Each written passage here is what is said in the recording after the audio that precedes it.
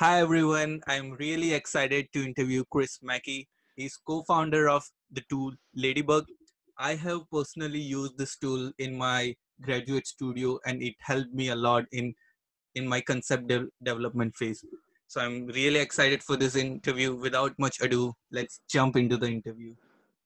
So, hi Chris, can you take our audience through where you grew up, what you did, economics of your household, and out of all things you could have done, why you chose architecture?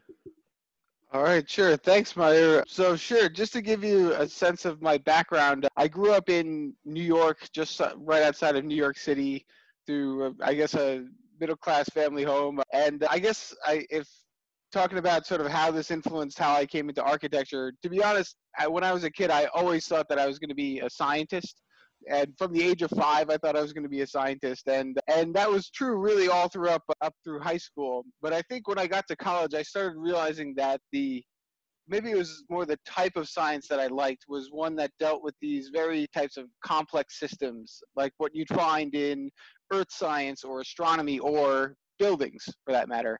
And so in my first semester at college, I took a, a course that was, I didn't realize at the time, but it was the first environmental design course that, that my school had offered. And, and I just, I fell in love with it. And yeah, and from that day forward, yeah, I was hardcore into architecture and, and building science. mm-hmm. And what were one or two incidents that had a huge impact in shaping your philosophy? Well, I think yeah, we actually already uh, got one in there. That that first class I took, uh, and by the way, I should give a shout out. The professor was Michelle Addington, but yeah, that course definitely had a huge impact in shaping where where I, I went from there. I mean, yeah, there were a lot of other really good experiences, but in terms of the ones that really directed where I where I ended up going, uh, that one was really critical. I mean, I think both because it, it showed me, it introduced me to the world of architecture as the first architecture course I had taken, and two because it really it showed me how well it blended all the sciences that I was interested in. so. Uh, and any interesting memories from your studios? Yeah, yeah, there were. Let's see, there were uh, a number of great great triumphs in the studio. I mean, I, I remember, yeah, I certainly remember lots of late nights staying up very late. And, and I guess I remember the first time that I really managed to produce like a cohesive like building design. And after the review of that, that was, that was a wonderful moment. It, yeah, it definitely made me fall in love with the process of design and just the, this i mean i guess the the kind of tension that you have in the process of design where you become really invested in something but yet you still also need to take a step back and be critical of it at a certain point in time. And just the yeah i love i that tension it's it's a skill that you develop while you know while being in the in design courses and and just engaging with design. But i think yeah that was just the realization that that was kind of how design worked was a really great moment. And i learned that through my studios. Mm-hmm.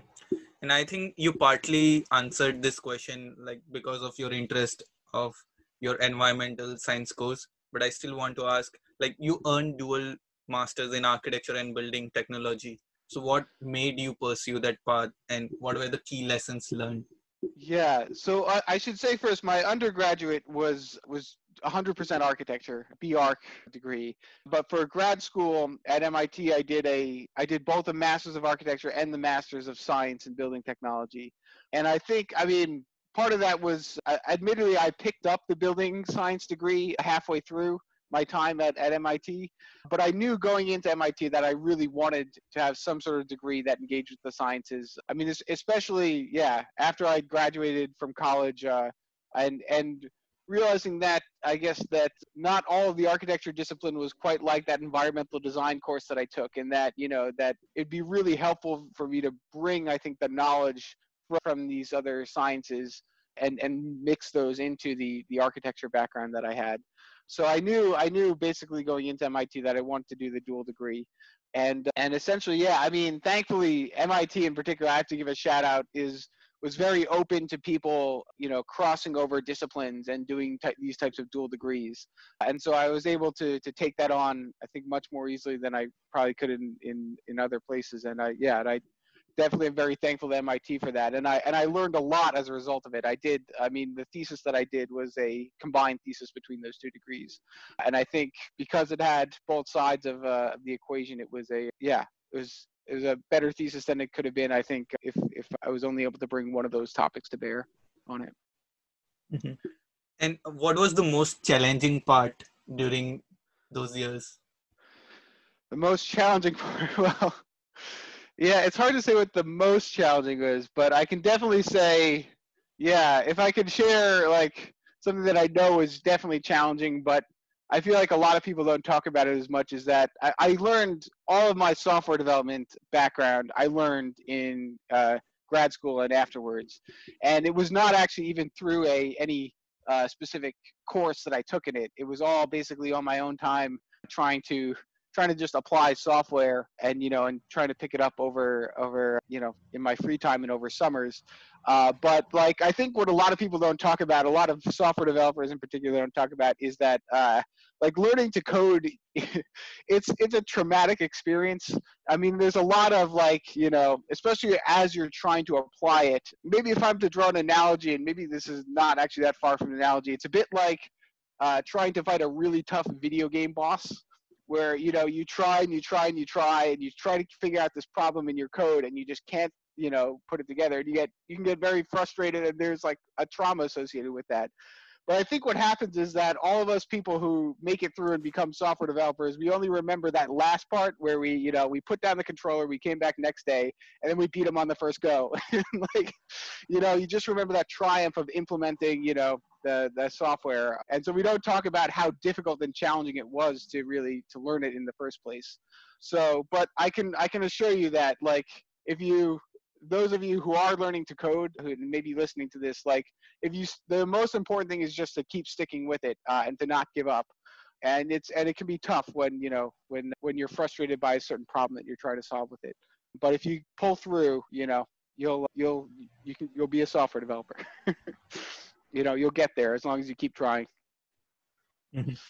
and like it's quite interesting that you shared that uh, it was it came out as a self-driven and passion project on your weekends and free time? And did you had like a community to support you when like things were not going right or? yes. Yeah that's well yeah they're very important things. And if maybe i'm like kind of jumping ahead here and already giving some advice but if, if anyone is learning how to code and listening to this i would really recommend like you really need three things to learn how to code.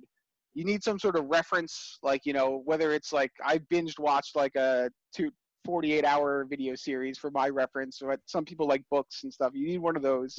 You need projects though to apply it to. If you're not applying that knowledge it'll it'll slip through your fingers very fast. So you really need to be applying it. But invariably when you're applying it you're going to get stuck uh, and you're not going to know what to do. So it's very important that you also have a community as you said the, the last part to be able to ask your questions to. And thankfully i mean probably more so than a lot of other disciplines there's like software development has really made use of the internet to disseminate knowledge so there are great communities. I mean, things like Stack Overflow and like, you know, all these places that are just powerhouses for answering questions. And we try to adopt that philosophy too with Ladybug Tools that we have a forum where, you know, we direct everybody to ask their questions and we all share knowledge on there uh, so that, you know, if someone gets stuck, they can search and probably even just a Google search will return something from our forums and people can continue that way. Uh, so yeah, so having a community is very important, but particularly for software development, you have your community can be literally the earth, thanks to the technology of the internet and and through uh, platforms like Stack Overflow and and Google and and all the other things that you can use at your disposal to search for questions when you get stuck. Mm-hmm. And how does a typical day in your life look like? So these days, I, am not going out that much, I guess, as you can imagine. I, I, imagine all of us are probably not getting out as much given the the current global pandemic. But but yeah, I, I mean, I do a lot of software development. I mean, these days because I'm I'm full time working on on Ladybug tools and especially the last year and a half, we've just been totally revising the software from the ground up for the the next re- like release that's a full new revision of the software which we're probably only a, like a few weeks away from right now from at least putting that on food for rhino I, I, all of our software is on github if you know it's all it's all out in the open. But yeah, we're close to having something really official to package to everyone. So many of my days have been just yeah, de- developing code, answering questions on our forum, and you know making some development plans for the time going forward, and I guess and walking my dog. so that that kind of sums up a pretty typical day for me these days, at least during the pandemic. Good luck with your launch. Can you share us uh, the story how you met Mustafa and started Ladybug? Absolutely, yeah, yeah. So I guess it was if it was back in 2013, it was like seven years ago, maybe a little over seven years ago now, that I I met Mustafa actually quite around this time of year. But I remember like up until the point where I met Mustafa, I was really I was using a lot of different types of tools to to try and model buildings and, and educate myself about modeling buildings. But I'd always I was constantly finding myself like hitting a wall uh, of you know not being able to do test a certain like you know cool innovative strategy that I came up with that I wanted to see if it would actually work. You know, but and I kept hitting these walls a lot of the times because you know these the tools I've been working with, a lot of the, most of them were proprietary. And so at a certain point, right, you hit the source code, you can't edit it. And then I watched the video that Mustafa put up of just him using Ladybug tools, which he had just released like six months earlier.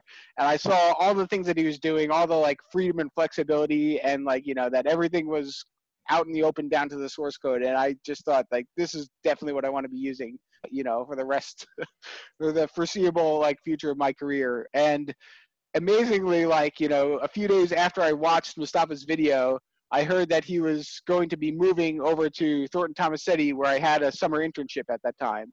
And I was like, oh my gosh, like this is this is great. And uh, you know, and when he finally got there, I yeah, I we we met, we had many many a conversation, and and even though that was only like yeah, just one summer internship I had here, one. I, honestly, actually, it was probably only those are the only like two or three months that like Mustafa and I lived in the same city. But like, yeah, that's that's all that was needed. And yeah, and from that there that point on, we you know, I I started contributing to Ladybug, and you know, within a year or two, I you know was close to close to half the code, or maybe like forty percent of the code was was stuff that I had contributed. And yeah, and Mustafa and I were were great friends from that point on for sure. mm-hmm. So after you met in summer and so you were working on ladybug in your spare time.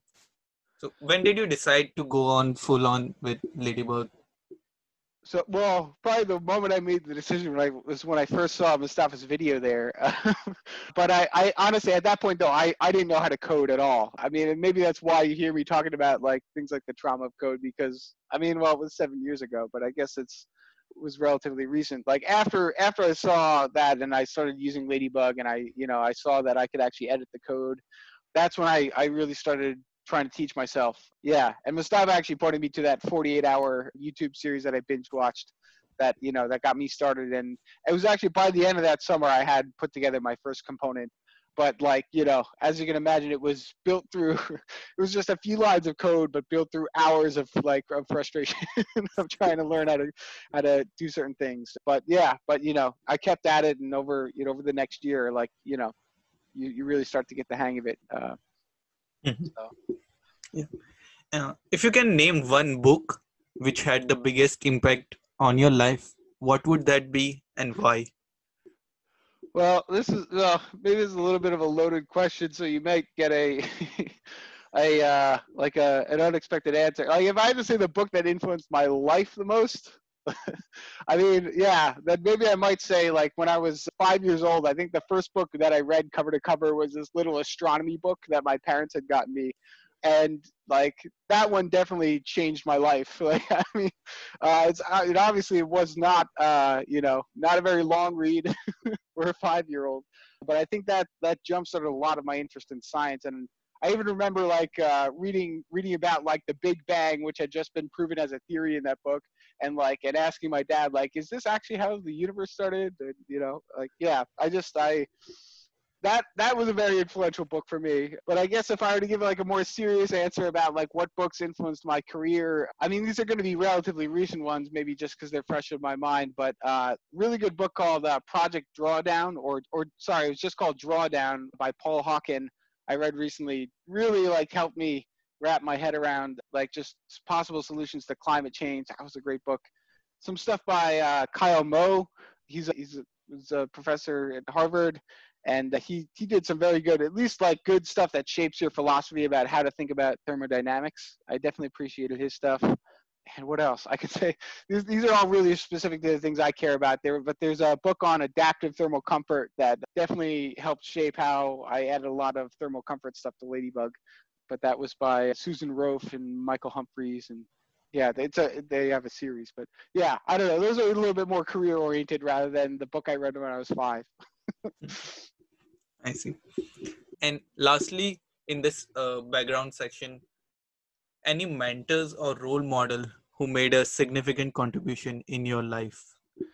Yeah, definitely. Definitely, there are a lot of people I have to thank for sure. I mean, maybe just, well, I probably first and foremost of everyone would be Mustafa, you know, just as the person who really, I mean, if, yeah, if it wasn't for him first releasing Ladybug, uh, and I mean, he was also the first one to start Ladybug, the Ladybug Tools LLC, you know, and, and I joined a few months later too. But if it, yeah, he's been a huge uh, really positive influence in my life, and I, I can't thank him enough. I mean, there are also, I mean, yeah, there are lots of professors I have to thank. I mean, Les Norford at MIT was a huge, uh, huge help with my thesis, and very supportive also of just of the work that I started to do on Ladybug tools when I was there.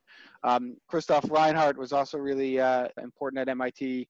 Andra Menchaca is my coworker at the architecture office that I used to work at and was also at MIT with me. She was really helpful. I guess I already mentioned like Michelle Addington back in college, and and Dean Sakamoto is another architect who I worked for for a year and definitely helped mentor me a lot. Probably like two scientists who were really helpful for getting me back into just back into science after college was these earth scientists who I published a research paper with, who were Ron Smith and Xuhui Lee.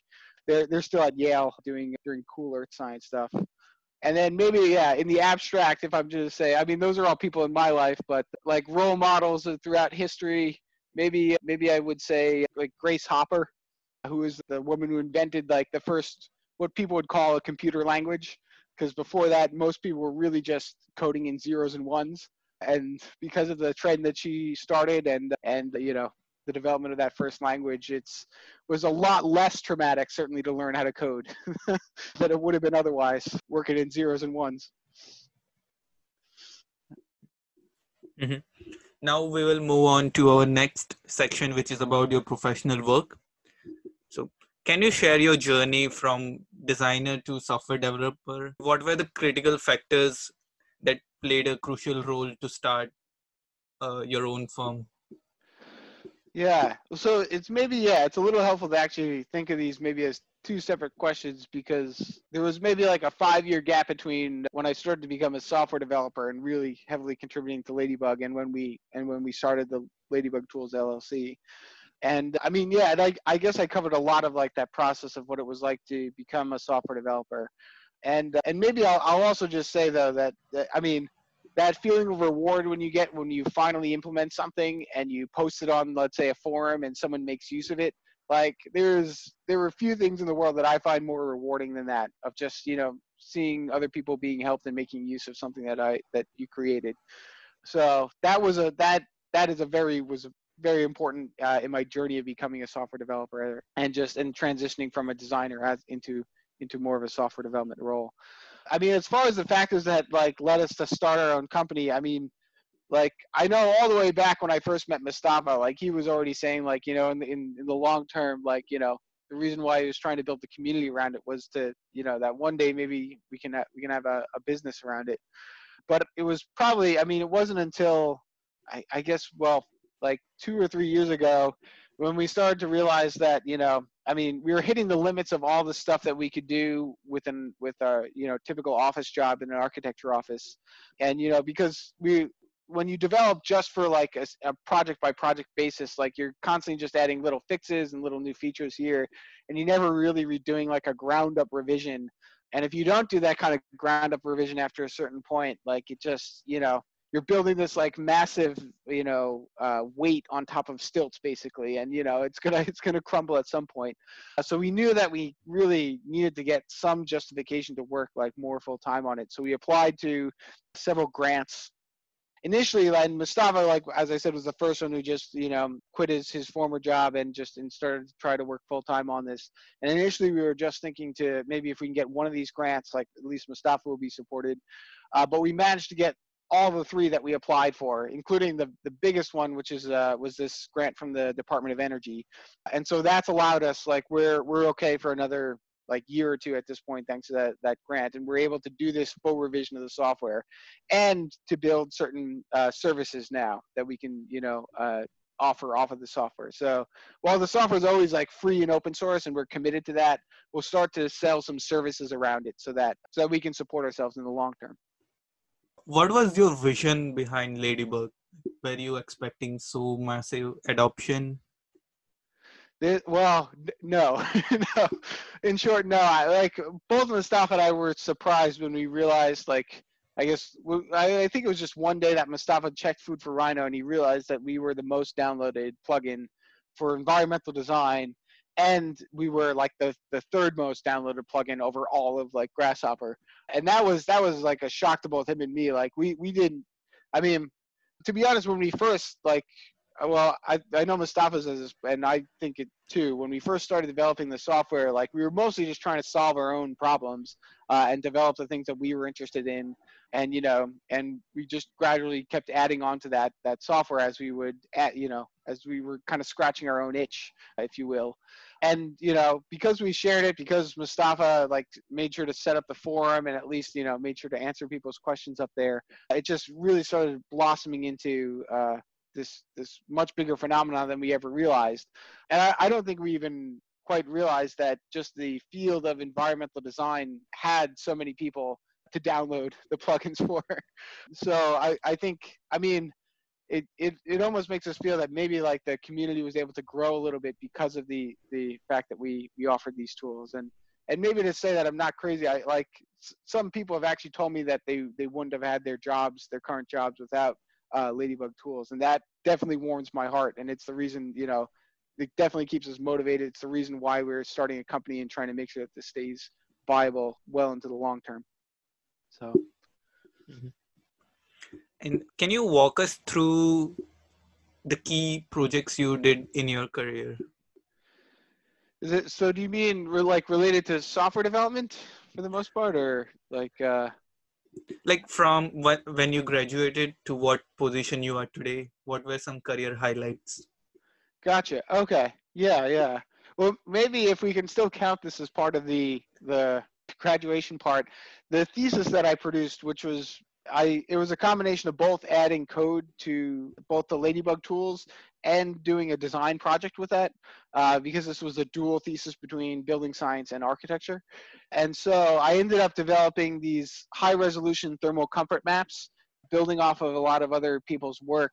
But as far as I knew, no one no one had really developed something to as high of both a spatial and temporal resolution as what I had put together for that. Uh, and so, I mean, it was a lot of work to get that together over the course of these. A lot of frustration with coding for sure, you know, as I was still learning and not as good at, at software development as I am today. But to see at the end, like to be able to produce these, you know, run simulations that took like, you know, a day, but to have these like, you know, really high resolution depictions of and understandings of temperature throughout buildings. It was just that was really rewarding for me, really motivating, and and I guess to say that you know that it, it influenced the rest of my career. I still use that that thermal mapping stuff. I used it a lot while I was working in an architecture office uh, I and actually one of the grants that we applied to, one of albeit one of the smaller ones, was actually to totally redevelop this this comfort mapping capability and offer it with the the new revision of the plugins that we've we've put together now. So that was definitely a highlight. I mean, yeah, there are a lot of let's see, a lot of other good highlights of. I mean, while I was working in practice, there were just a number number of moments when I realized that you know I, guess the, the thing with working with uh, an engine like like Energy Plus, which is what we use to model building energy under the hood. I mean, the thing is almost it's 25 years old, I think, at this point, and it's got this all this accumulated knowledge of like experts built up all over this time. Uh, so there were just a lot of moments of realizing that you know someone had developed something for this, you know, tw- 10 years ago and wrote it into this program, and now we can still make use of it and unearth it. Uh, just like the yeah, that constant re- realization of like you know someone else has, has done this and done a pretty good job or done most of the work for me uh, right? And we can just we can just expose it and bring it back into the light and into the community of people using the software. Mm-hmm.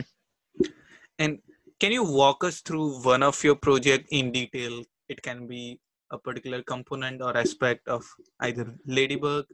What was your approach challenges faced in that project and your final output so I guess the the main type of thing that I was trying to tackle with my thesis was I noticed that a lot of the practice, the at least while you know while I had some internships and worked out in practice, was built around this very kind of like narrow way of using energy modeling, where you'd basically you'd pull out the energy use from your model, your heating and cooling and other other types of energy use end uses, uh, and you'd separately look at thermal comfort. And you know you just plug all the things from that energy model into a comfort model and it would tell you are you comfortable or are you not comfortable? And this is like the basic way that a lot of strategies were being evaluated in practice with energy modeling that is and the thing is really the only metric that's used to uh, you know evaluate how valuable a certain strategy is is just this bar of you know heating cooling etc uh, right? And that's the whole sort of measuring stick that you have. And as long as you pass the, the thermal comfort no one actually really looks into it. But this overlooks like a huge alternate way of designing with energy modeling where you can say like take all these different aspects you know all these different outputs that you can get from an energy model like the temperatures of surfaces and the air temperature and the humidity of that that temperature. All of this gets computed by your typical energy model. And you can synthesize it all into this high resolution thermal comfort map which this and this was really the, the goal of my thesis was to try and enable the production of these comfort maps from energy models, and then use the sort of explore the alternate ways that we could design with these comfort maps, right? Where where we could actually then evaluate the value of a strategy, not in terms of like how much heating or cooling it saved, but how much extra comfort it gave to the occupants. And this opened also opened doors for like passive design, right? If you don't have an air conditioning or heating system at all, you can still evaluate whether a strategy is a good idea and how good of an idea it is by looking at these high resolution maps as opposed to yeah as opposed to needing to to put in a fake energy you know hvac system or something like that. Um, so this is the basic premise and there are lots of details which maybe i'll gloss over right now. Uh, but just to say that like you know where I developed the, these these capabilities and put them into uh, the software and finally, when I got around to trying to explore the sort of design possibilities with this, I wanted to sort of get away from the kind of typical notion that we think of a lot of our buildings as these kind of sealed climate chambers where you know you're tightly controlling all the variables of, of temperature and humidity as best as you can and sort of try and rediscover what i think were probably much more common ways of designing in the past before the advent of heating cooling systems where you might, let's say, have an occupant really be a participant in the architecture, where they might, let's say, sit in the sun on a cold winter's day, or move up to a, a loft, uh, you know, under the covers in the winter night, or retreat deep into a building, you know, on a, on a hot summer's day away from the sun, or and come back out to the facade at night to experience the cool breezes. That I wanted to try and rediscover this with my thesis and also just uh, you know understand also what's possible with buildings. Instead of having you you know people wake up in a conditioned bubble jump in a conditioned car go to a conditioned office right? Everyone's always in this bubble of air. Like what was possible especially in terms of communal spaces where you have like these historic places like hearths and sunrooms and saunas or you have uh, you know in in hot climates you have collective spaces around uh, cool areas like the earthen temples that you might find carved into mountainsides in India or Islamic gardens with their cool water features or even like in the US if you go to Los Angeles the swimming pool as like a kind of communal thermal center, right? And sort of what was possible if we weren't organizing all of our spaces like this in these hierarchies around energy systems, but could allow this much more organic, you know, sets of communal spaces and smaller private thermal spaces. So I really wanted to try and see if I could discover some of these methods that were used to design these old spaces using this these methods of thermal comfort mapping. And so I set out sort of first methodically running many, many variations of a just a single apartment and just trying to, without any heating cooling system, just trying to understand what happened to the temperature in the space as I, let's say, you know, shifted the the section up and down, or I added some shade or made it deeper instead of shorter, or added some strategies like connecting to underground or evaporative cooling and stuff like that. This was all, by the way, this one was in a Los Angeles climate in in the San Fernando Valley, where it gets very hot at a specific, you know, this is the hottest week of the year looking at temperature. And so from this, we could, you know, I pulled out the strategies that I thought were most interesting or most effective and you know synthesize those together you know where we can create these kind of cool microclimates by offsetting the section alternating those really accentuating those cooler indoor microclimates that remain thermally stable into the heat of the day extruding that and you know and then you have basically a typology for an apartment complex a totally passive apartment complex in Los Angeles in this case. And the nice thing about having these maps and having developed it with these maps is that we could actually go back and take a design like this and run an entire energy model with it and verify that it was actually working the way that you'd expect. And sure enough, you see this is in the hottest part of the day around like 4 p.m. in this climate in the hottest week of the year. And these living spaces in the center of these apartments are still nice and cool, even though the bedrooms and these auxiliary spaces are still still quite hot. And you can see you can still create communal spaces by connecting to the earth and stuff like that. And I think yeah, this is just an animation over the course of that day showing like how at night in the bedrooms everything's nice and cool and people can remain in there, but then the sun starts to stream in, uh, and by the time you start getting to the afternoon, those you know perimeter spaces are very hot, but the people can hang out in these cooler indoor spaces or in the or in the kind of basement uh, communal area and be able to still remain nice and comfortable until finally the sun sets and things start to cool down again and then they can go back out to their bedrooms. So this was something that you know just trying to rediscover what may have been like a pattern of usage in passive buildings that we might have lost by making everything a, you know heated and cooled. And this is just a, a exterior shot showing that those balconies actually kind of remain a little bit warm and release their heat slower to the sky at night, making them a nicer place to hang out after sunset. Like quite interesting work and I was wishing like I can just you can just go on and on because I was absorbing lots of amazing information. Yeah. yeah. And I think one follow up question to your work is Did you use like already traditional conventional software for analysis or were you developing your own tools? So, yeah, it, it depends on what you mean by traditional because, uh, well, I think the important thing to realize, especially with any sort of computer modeling, is that you're you're always building off of, or you know, or any sort of science work. You're building off of other people's efforts, even if it's just the, you know borrowing the, the first law of thermodynamics to write a new piece of computer software. But I mean, the vast majority. So the thing that produced those thermal maps and actually computed all those temperatures under the hood was an engine called Energy Plus that you heard me mention that the Department of Energy is supporting has been around for like 25 years.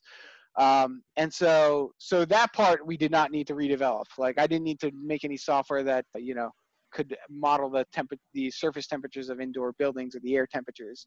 What I did develop though was all the stuff to try and take that those raw numbers of just you know surface temperatures and air temperatures that energy plus spits out and turn them into something visual and spatial. And also i guess the other thing in that process was that i plugged them into a thermal comfort model to try and assess whether people would feel hot or cold. So that part i had to develop. I had to develop all the visualization and i had to develop the stuff that kind of synthesized all of that those separate pieces of results into like the visuals that you saw there. But yeah but i mean the good thing is though that everything down from the very top to the very bottom everything is open source including energy plus and so that made it a lot easier to develop on top of it and to change things if I needed to. Mm-hmm. Yeah, I think that definitely encourages more people to build code, code upon that. Yeah, yeah, yeah, definitely build on other people's work, or at least research other people's work before you try and build something yourself. That's a that would be my advice. yeah, and according to you, what are the roadblocks faced by AEC industry to adopt new technologies?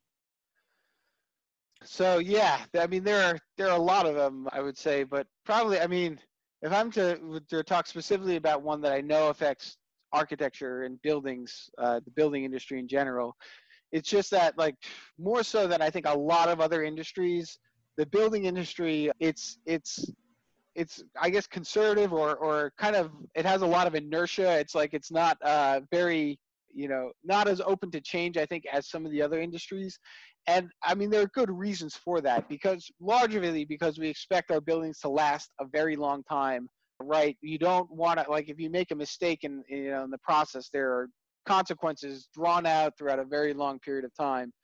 And so I think for that reason, there's this inclination throughout the building industry to just keep doing what we always did because we knew it worked. We don't want to change it, like, you know, and that can kind of kill a lot of the innovation potentially, uh, you know, if you let that drive your whole process.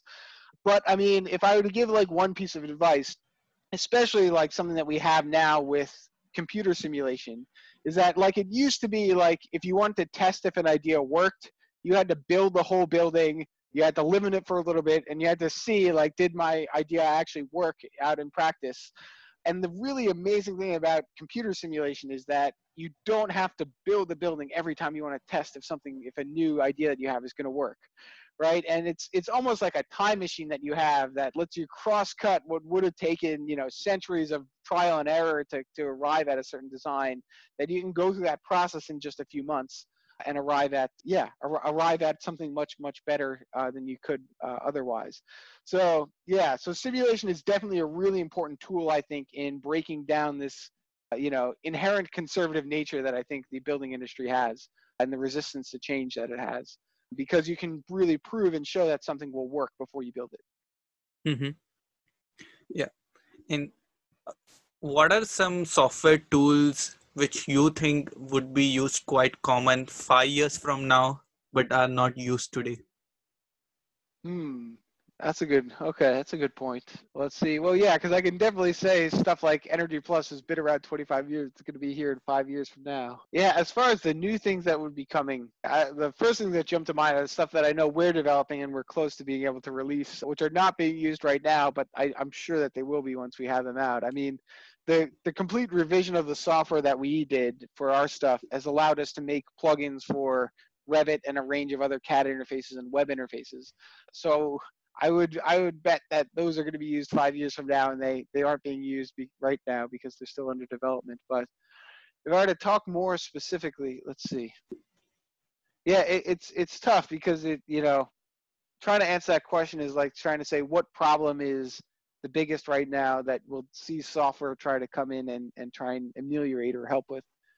I mean, I definitely think that there's there's probably going to be more software that's geared to rather than being geared specifically to architects and engineers there's probably software that's going to be more geared i think towards owners or developers or some of the other stakeholders involved in the process of, of creating buildings I mean, I, I just I know of a lot of startups actually right now that are really trying to gear themselves towards being more amenable to people who may not have a design background or may, you know, or or may not, you know, have invested time to learn CAD software, but they still want to just mock up something to show.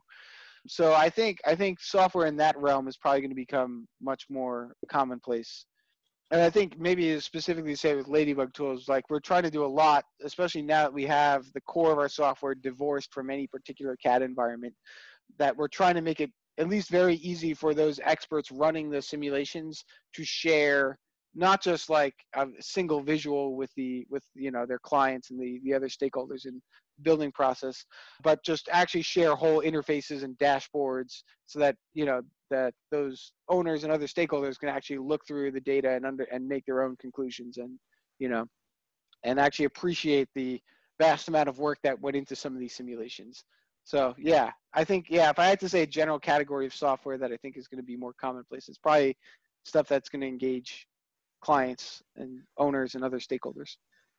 Mm-hmm. And I would like to know your thoughts on how like artificial intelligence and machine learning might shape the design process in building industry. Yeah, yeah, that's that's a good question. And I mean, so the thing is, yeah, there's also do you know the the concept of the technology hype cycle? because I, I, think it's very useful for maybe explaining like where where we are with artificial intelligence right now. So, I mean, this it was the hype cycle is an idea that was coined by I forget it. There was some journalist, but he was saying noticing that like every new technology that would come out, like you know, Apple releases the iPad, And you know, at first there's like this huge hype about it. Everyone's so excited. It's like it's going to solve all of our problems. It's going to be great. And then you know, people actually buy it and they get it and they start using it and they realize, oh, well, you know, it doesn't doesn't really solve all the problems I thought it was going to solve. Like, you know, okay, all right, it solves all these limitations and these other things. And you know, there's what they call the trough of disillusionment, where like, you know, people realize that it's not as good as the hype showed it to be. But you know, over time, like that trough, you know, I mean, some software dies in the trough of disillusionment, and some some technology dies there. But others, like you know, people keep using it, and they keep you know realizing, okay, it's still good for some things, and eventually they reach what they call the plateau of productivity, where you know people are are you know it's not as good as the hype cycle, but not at the trough of disillusionment. It's you know making good use of this, the technology, and you know that tends to be stable throughout time so I think I think that we're still in like a process. Like I witnessed like hype cycles in AEC with like optimization. Like there's a lot of excitement about optimization at first, and then you know you build your first Galapagos model, and you realize like I ran, you know, it took three hours to solve a problem, you know, design question that I probably could have answered in a few minutes by building a simpler model. But, you know, over time I realized optimization or, you know, genetic algorithms are good for maybe just these small set of things that I apply them on right now. But yeah, I think eight, like artificial intelligence is going through the same thing. I think we're still kind of at the peak of the, the hype cycle, and we haven't. We got a long ways to go till we realize all the useful ways that we want to apply it.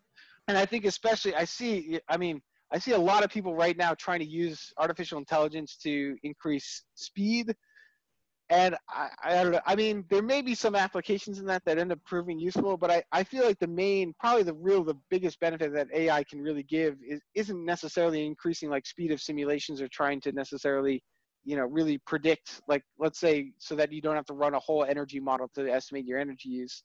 I mean, I because it's still it's very much more valuable to know that the numbers you got were derived from physics and to be able to know those with solidity than just have. I mean, if you need something quick you can do a simplified version of those numbers maybe is what i would say rather i think probably the real areas where like artificial intelligence could be a really big help is like you know is the excellent applications we see of it now like you know amazon suggesting like customers who bought this one also bought that one right? There probably are ways that that could be integrated into some types of software i think where you know you, you say like you ran a building like this before. Here are five other buildings that you know were kind of like that. Maybe you want to use them to look at them in order to set your assumptions for the current model that you're building or something like that. Like those types of applications or you know in search queries like the way google uses it those are obviously amazing applications of it. So i think if we could find ways maybe to gear ourselves more towards those applications maybe rather than just purely using them to increase the speed of stuff that we already do that seems it's i feel like we'll get to that plateau of productivity a little faster. Mm-hmm. what are some emerging trends in the field of computational design yeah, so so yeah, you got the stuff at the start of the hype cycle. I mean, yeah. Well, I guess I maybe I already uh, mentioned one was just like the sharing of of computational design and the, those results that people produce from computationally designed things with a wider audience, including like building owners and, and other stakeholders. That's definitely a trend that I see is on the rise right now. Yeah, I mean, as far as other sort of general trends. I mean, yeah, I mean, if well, let's see. I I can certainly say like in terms of like software. Well, the tr- the trend that we're following and the trend that I see a, like almost all software projects follow like what we're undergoing now with ladybug tools of like totally revising the software and like making it you know like almost 90% of the code is independent of like any particular operating system or CAD environment. Like this process of like pulling out the core and making it its own like you, you know thing. This is what I see happening all over the place. I mean, I, I know like McNeel just finished this with Rhino that they pulled out a lot of their core so that they can offer like Rhino inside. I, I guess, and actually, a lot of this maybe maybe this a lot of that is a precursor to more software as a service, right? That people want to try and take the you know what was traditionally just a desktop application, put it on a on a cloud service, uh, and you know, and offer access to it or access to certain capabilities to it through through that. So that's probably yeah, that's yeah, that's definitely an increasing trend these days of of things moving towards software as a service and moving, you know, trying to divorce, I guess, the things that run all the simulations or do all the hard work uh, put that on a server as opposed to having everyone's computer needing that, needing those capabilities. Mm-hmm. And my last question in your professional work section is Is there anything you wished uh, you would have do- done differently in your career? Hmm. That is that is a good question. I mean, it, and it's always hard to answer because right, the decisions you made led you to where you are here, and I'm I'm very happy where I am right now. But yeah, if I were to say something different, I mean, I guess I guess when when I was in college, and I mean, well, I guess when I first got involved in in architecture, as I explained, I felt like I kind of left behind a lot of the the sciences that I were was interested in then. And I I mean, I understood why I did it at the time, but I think if I had maybe kept it a little like closer to me, I might have actually probably done a dual degree in architecture and some sort of environmental science while I was in, still in college. But yeah, I think yeah, I kind of I yeah I and maybe part of that was also like me taking that first semester of college taking like a physics course that really burned me out. but yeah, but I think yeah, if there's one thing I could have changed, maybe I would have stayed more involved in in in sciences throughout college as opposed to trying to pick it all back up in grad school kind of. So, yeah. Mm-hmm. And what is the best advice you have received till date? Hmm.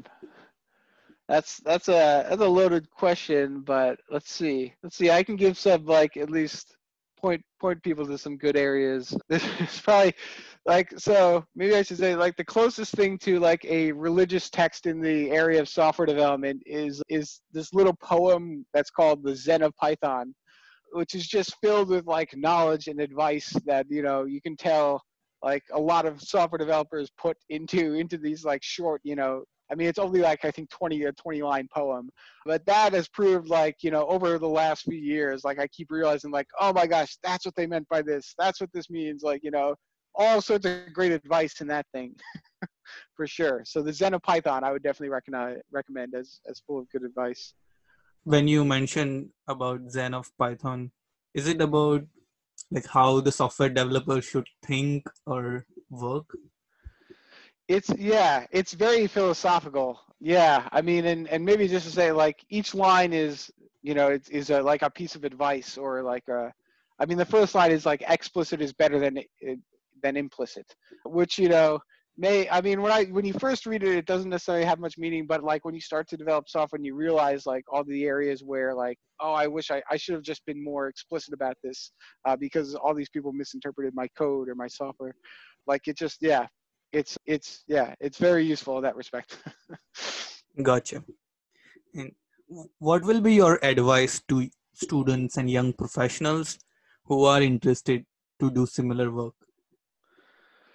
Hmm. So yeah, so I, I I think I mentioned earlier, and I guess I'll say it again that if if you are interested in developing software, trying to get those those three things that I mentioned, just making sure you have a reference that you can always go back to to, to understand the fundamentals of coding or whatever you're working on, making sure that you are applying it, you know, to some projects that you have some projects that you really want to and, and goals that you want to tackle, and then just making sure you have a community to ask your questions to. Like yeah as long as you have those three things and and you don't give up right? I mean and as i said like it's uh it's very easy to get frustrated at some points in, in in in the process but as long as you don't give up you keep those three things there to help you you'll you'll get through.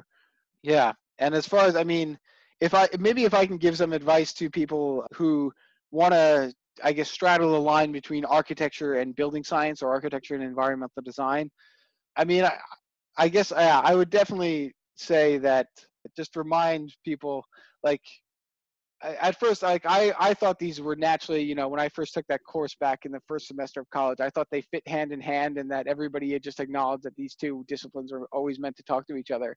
But i realized over time that that was not not really the case and that it was a relatively new phenomenon that people have tried to like wed these two topics and areas of knowledge. So my advice would be like if you are engaging in this area of, of trying to straddle the line between architecture and environmental science or environmental design or building science, just yeah, just don't be afraid. Like you are on the right side of history. these these two topics are only becoming more intertwined. And if people tell you that the thing that you're doing is not architecture or if a scientist tells you what you're doing is not science, like you know, just you know, you're you're on the right path. It's we need more people that are welding these two things together, and yeah. And if anyone tries to, to convince you otherwise, then then they're they're not on the right side of history. Mm-hmm. And I know you mentioned briefly about many times when people use Galapagos, it takes a lot of time. And personally, when I was running building simulation, it took decent amount of time. And when you pair that up with Galapagos, then it takes a Mhm. good amount of time. So, what will be your piece of advice for for people who are trying out different iterations with this kind of simulation tools to to make best use of their time? Yeah, yeah. So maybe I can just briefly describe the hype cycle that I went through with with optimization, and I think Mostapha kind of went through as well, which is, I mean, at at first, like we were all very excited about the, the prospect of optimization. Like, you know, I I remember I think I built my first Galapagos model. It was just looking at the optimal depth of an overhang for a simple single zone energy model. And I remember like I ran through, you know, started the Galapagos simulation. It took like two hours to run and then the optimal result was this overhang that was like five meters deep and i just like oh wow that's that's that's really not what i was uh, uh, hoping to get out of this and uh, yeah and i mean the reality is is that like i guess what i learned over time is that that one optimal solution isn't necessarily the, the most useful thing for the design process because obviously i mean even if that five meter overhang was the best thing for the energy use of the building it's obviously not, it wasn't something that the you know was going to get built on this project.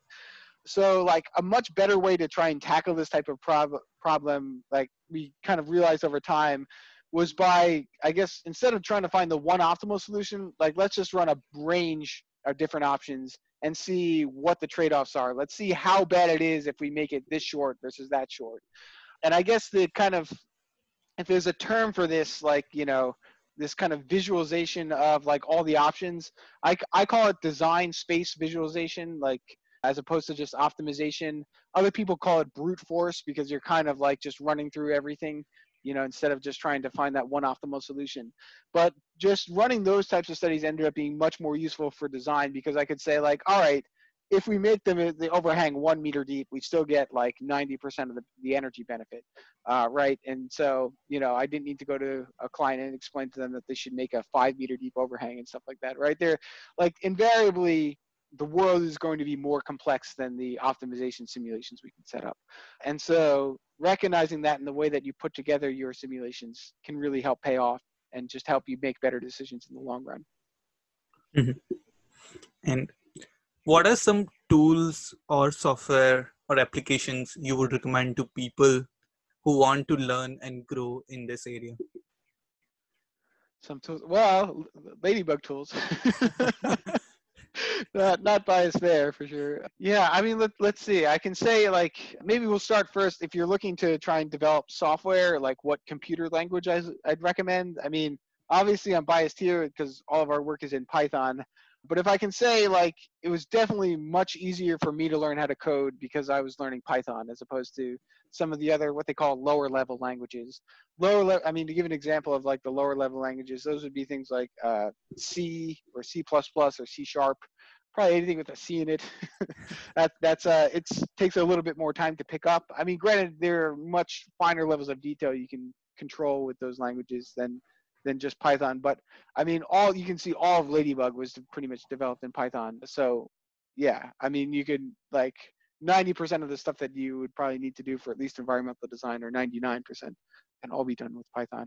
So I'd really recommend that. It'll it'll definitely speed up the process of, of learning. I think to start from there as opposed to with the lower level language. Let's see. As far as other tools, I mean, well, I probably I'm probably preaching the choir by saying just learning Grasshopper. Actually, probably Grasshopper is even a good precursor to learning computer languages uh, because a lot of the same principles that you use in Grasshopper. It's it's interesting. You could probably draw like a whole educational pathway from just like Excel and just like the pure maths in there to Grasshopper and realizing that anything you can do in Excel, you can do in Grasshopper with visual scripting, and then to like you know coding in a real language like Python. That yeah, there's like a you know continuous set of they build off of one another. So learning Grasshopper is not just a good way to learn how to inform your own design and build parametric geometry models, but also learn a lot of the same principles that are inherent in computer software and programming languages. Yeah, as far as other tools, I mean, maybe I'll also give a shout. Probably the two like the two big languages I'd re- recommend would be Python. JavaScript is also pretty good if you're really interested in web development. You have to you have to learn JavaScript pretty much. It's the it's the language of the web, and it's and it's similar to Python. It's a higher level language, and so you can pick up a lot of it much more quickly.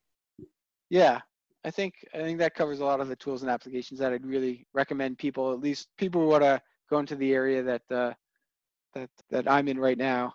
Maybe, maybe one other thing just to say, if with with regards to learning programming languages, is that you'll usually find like most of the value of computer languages is are actually it's not necessarily in the language itself, but in all these other the ecosystem of other packages and bits of software that people have made, or or rather what people call SDKs, or or I guess in Python we call them packages, or or APIs some people call them. But make sure like do your research uh, to see if someone else has put together a package or an SDK or API for something, if you if you want to learn that and build off their work.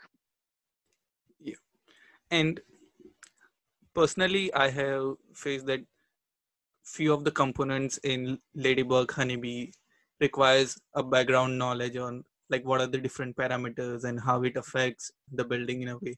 So is there any book or a guideline we, uh, one can refer to to make the best use of those parameters and know how to play with it?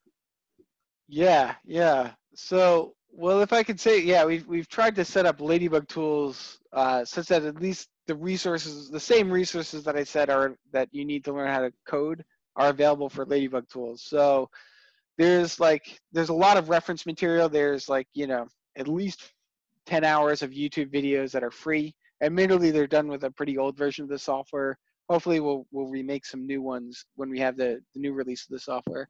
But actually, and, and on our platform, if you become a patron, there's a small like uh, advertisement. But we have about like 40 hours of videos most of which are recordings of the workshops we teach available to our, our patrons who support us with just $25 a month. So that that's a good, we give you the reference material. There's obviously also a lot of reference material just in the descriptions of the components themselves and stuff so that you can always check that. I mean, the projects, well, I mean, it's kind of up to you to, as a as a person learning the software to have projects or things that you want to apply them to.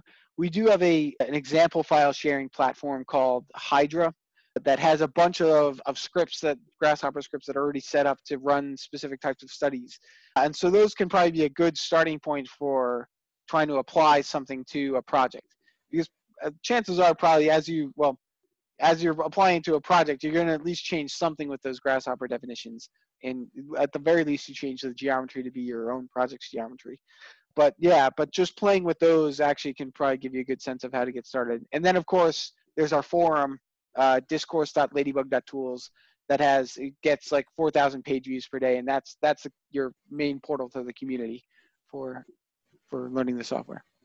Mm-hmm. How can our listeners follow you and your work? So probably, I mean, I I tend to be not quite as active personally on social media. I tend to do like a lot more stuff through through Ladybug Tools platforms. So probably, I mean, if you if well, and part of this is just because like a huge fraction of my like of the things that people reach out to me for are questions about the software. so uh, yeah, especially if you have anything software related, please do it through the discourse through that that forum discourse.ladybugtools. That's the best place to do it because also if I'm not able to answer the questions, then there are tons of other people in the community who could help you. I mean, yeah if, if you like you can follow like most of the tweets i do are just retweets of, of stuff we post from ladybug the ladybug tools twitter so i'd recommend probably just following the ladybug tools twitter if you yeah if you want to stay updated on the the things that we're doing with the software so yeah that's those would be the main things. If you if, yeah probably the best thing if you need to reach me personally the forum is the best way to do it. Mm-hmm. yeah. I think lastly, I would really like to thank you for your time and sharing those kind this amazing stories. It's quite inspiring to me personally and like i believe it will inspire a lot of people as well. So. i'm glad to hear it. Thank you Mayur yeah. yeah have a nice rest of your friday and weekend Okay, you too, Mayur. Thanks. Thanks again for everything. Yeah. Bye, Chris. Okay, have a good one. Yep.